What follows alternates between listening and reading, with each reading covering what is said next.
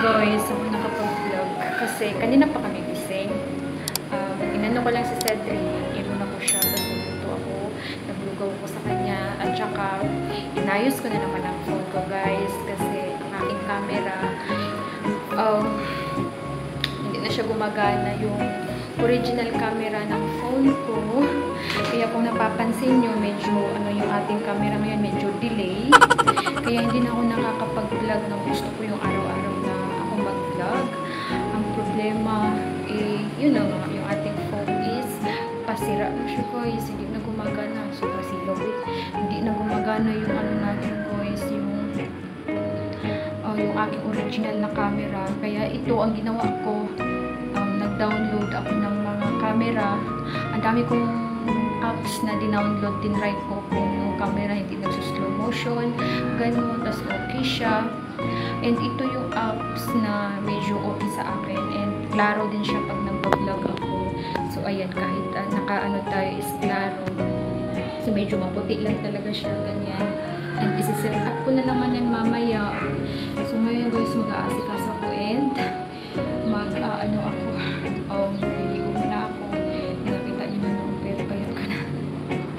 okay lang yan, mga soy. Life is like that. No, minsan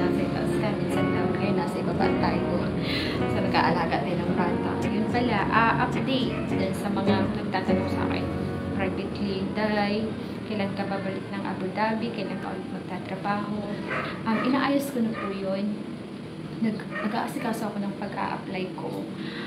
This time, kasi may mga papel ako na dapat i-renew, like my passport. Yung passport ko, kailangan talaga siya i-renew. Tapos, um, Cedric, nasa panahon kasi si Cedric ngayon na hindi pa talaga kayang iwanan. Siguro maybe after one year, ganun, mag-apply na ulit ako. Wala namang problema. Kasi, okay naman kami ni Cedric. Nakaka-survive naman kami without friends. May friends ako, pero yun yung mga, ano uh, feeling friends, yung mga totoong friends talaga.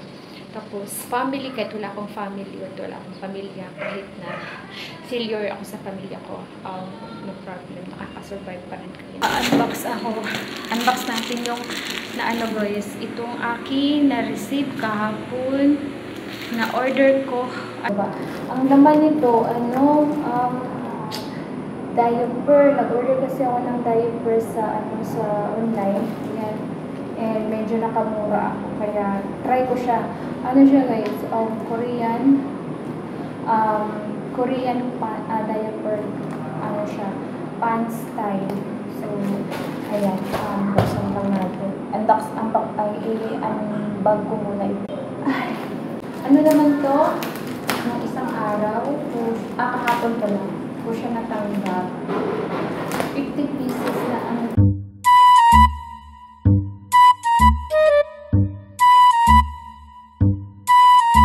Try natin to. Mura lang to eh. Made in Korean. And 50 pieces. Size XL. So, i-try ko ng isa. Sa natin. Medyo lang plain. Hindi ko alam. Yung order ko, kulay ano yun eh. Kulay blue ano niya.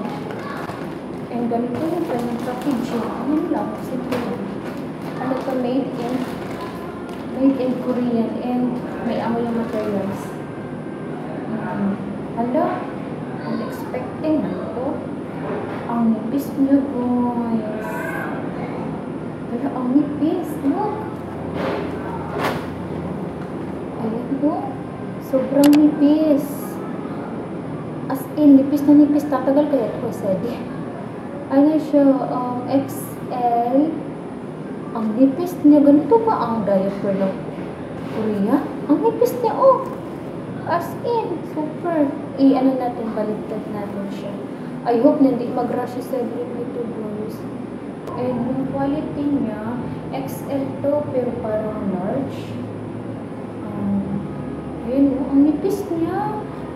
Sobrang nipis. Ayan, oh. Sana magtagal. Okay pa sa Kasi first time ko, um, ito may amoy lang siya ng konti na amoy material. Ang ganyan siya. Pants, size XL. Made in Korean to the boys. First time ko mag-order ng ganito. stretchable naman siya. Ano, ah, large. Ay, large. I mean, XL yung size. Pero I hope naman. Nagluluto din ako. Na oras na. Lutuan time na naman tayo, guys. So, mamaya.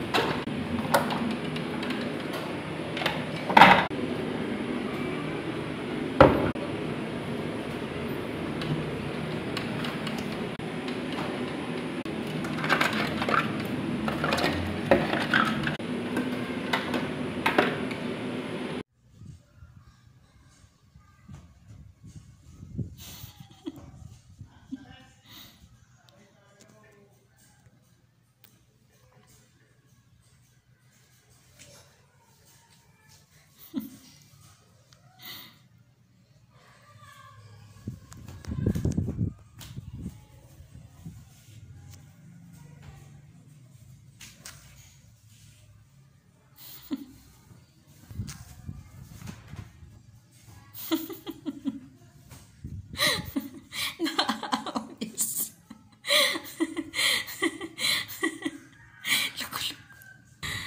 Ay, naku.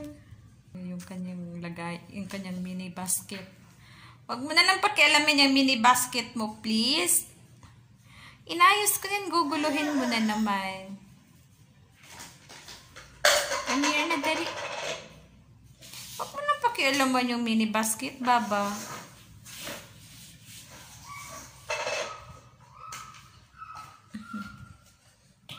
Nakikialaman mo na naman. Hindi ka dito at ma mainit banda dyan. Dito ka kay mama, dali.